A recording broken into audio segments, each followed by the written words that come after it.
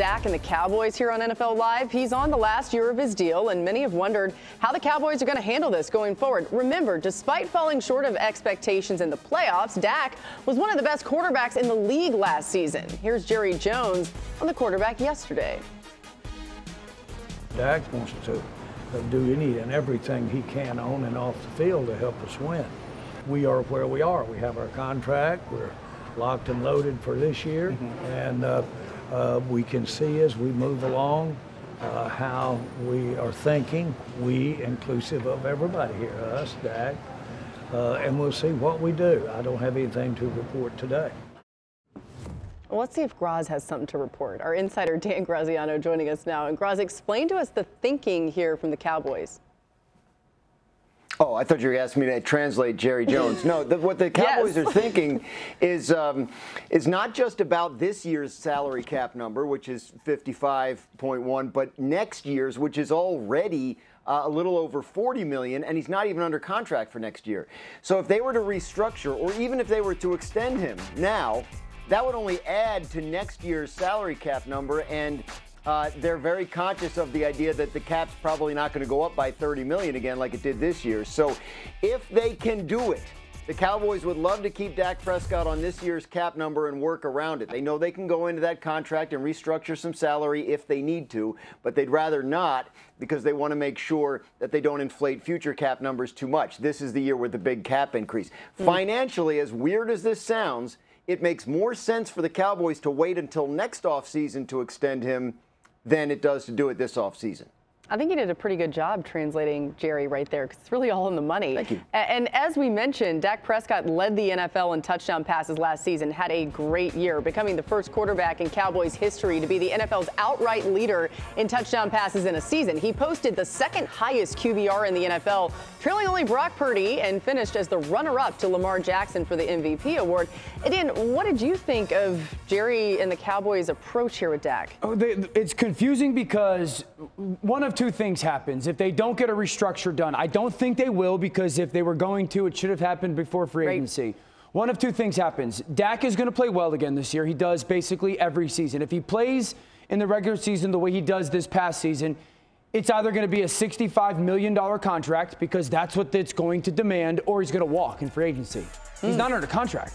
So they're going to get absolutely nothing for him. The Cowboys are expecting a Super Bowl. So if Dak plays really well and doesn't get a Super Bowl, they're going to be sitting there and either giving him a ton of cash or going to get nothing for him. And this roster has holes in it. And for everybody that wants to continue to tell me, guys, they got three picks in the top 174 picks of the NFL draft.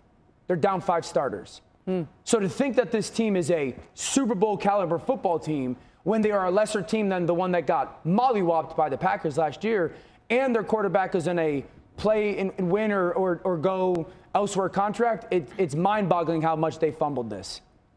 Yeah, mollywop is a very underrated word, but correctly used here in this case. When the Dak Prescott contract wasn't restructured or renewed, I think that told us all the things we needed to know about the way Jerry Jones sees his now starting quarterback. And so you go into this season with the lame duck coach and the lame duck QB. That's a recipe for failure. Not to mention, you don't add any pieces around them. The team that got mollywopped is still there, but now they're less of a team, and you're going to ask Dak, Dak, Prescott to bring a lesser team further than he ever has any team in his career. It's just not fair to ask that, and it's not a way to fairly evaluate him going forward. So I agree, Dak Prescott will play the quarterback position well throughout the season. And if I'm Dak Prescott, I'm fully prepared to not only test free agency, but to play somewhere else next year. And I know we know Dan made jokes about being locked and loaded loaded and said that this team wasn't loaded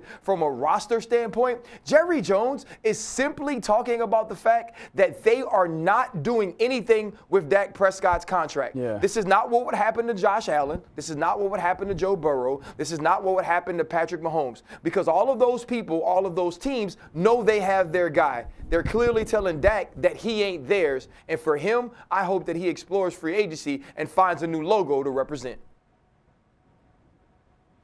Yeah, I, I don't disagree with anything that you guys said. I, I would just ask us to go back to when Dak Prescott signed the deal he's on now. It was four years, 160 million, and we led Get Up, we led Sports Center, we led every show we had. Why aren't the Cowboys paying Dak? And eventually, on Jerry's terms, Jerry paid Dak, and he gave him a pretty good, deal, pretty good deal Right. at the time. And so I just think right now, Jerry is not sold on the point where he's ready to pay the quarterback $60 million right now, nor does he feel like Yeah. being backed in the corner, which is what we all said that the Cowboys were. I think in the end, though, if Dak Prescott goes and plays well, he may want to go to another team, and he may have every right because they can't franchise it. But I still think if he plays well, his best offer and his best success is going to be had in Dallas. And Jerry has proven, based on the last contract, he, he will do this deal when he gets ready, like he did the last time. Well, if Jerry Jones wasn't willing to pay him that money, then they should have traded him at the end of the season, even though he has the no trade clause, made it work, found a way to Boog. If he We has, said the same thing last time, though, didn't we, fin- Dan? No, but he had the ability to be tagged last time. He doesn't Yes, this time. he does not this time. And Boog, if he's second or third in the MVP voting, he ain't, buddy. His the, the contract he is going to demand either there or somewhere else is going to be ridiculous. And if uh, they don't have a NFC Championship to go along with it, it's going to be a mess. Yeah, we all know that Jerry at times likes to negotiate or even do a little bit of messaging through the media, and you wonder if, I'm sure he's well aware, Dak Prescott has all the leverage here. Maybe that's a big piece of Good this. job by his